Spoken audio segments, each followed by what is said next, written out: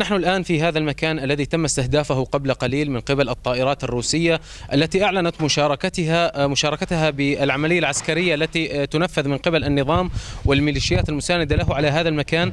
في هذا المكان تحديدا الطائرات الروسية قبل قليل استهدفت هذا المكان بغارة جوية كما نشاهد هنا كان يوجد منزل في هذا المكان. نشاهد حجم الدمار الكبير الذي دمر هذا المنزل ونشاهد هنا الناس آه، قبل قليل آه، يتفقدون منازلهم بعد إسعاف الجرحى.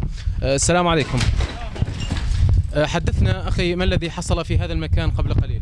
اجت طياره روسيه محملة ست صواريخ دمرت الحارة هاي والحارة الشمالية والغربية والقبلية رغم الدمار ورغم التهجير ورغم الطائرات الروسية الأرض أرضنا ومش طالعين. لا تهجير ولا شيء لا دول عربية ولا دول أجنبية.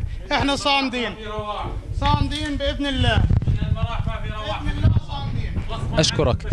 نعم آه، رغم رغم الحملة العسكرية الكبيرة التي يشنها النظام لكن نشاهد معنويات الناس العالية وجل الناس آه، نزحوا من هذا المكان بسبب القصف العنيف الذي يمارس على هذه المنطقة.